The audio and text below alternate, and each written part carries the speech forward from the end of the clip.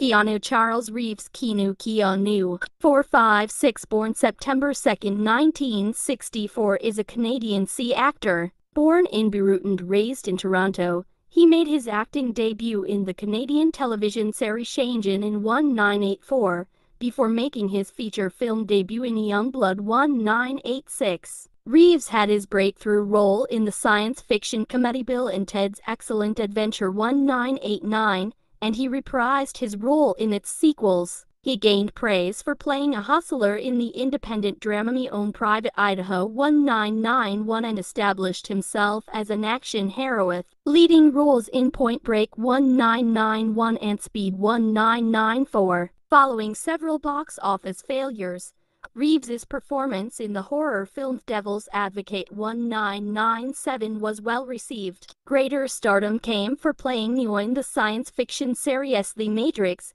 beginning in 1999. He played John Constantine in 2005 and starred in the romantic drama Lake House 206, the science fiction thriller Stay the Earth Stood Still 2008, and the crime thriller Street Kings 208. Following another commercially down period, Reeves made a successful comeback by playing the titular assassin in the Wick film series. Beginning in 2001, Time named him one of the 100 most influential people in the world in 2022 9 In addition to acting, Reeves has directed the filming of Taikai 2013. He plays bass guitar for the band Stare and pursued other endeavors such as writing and philanthropy.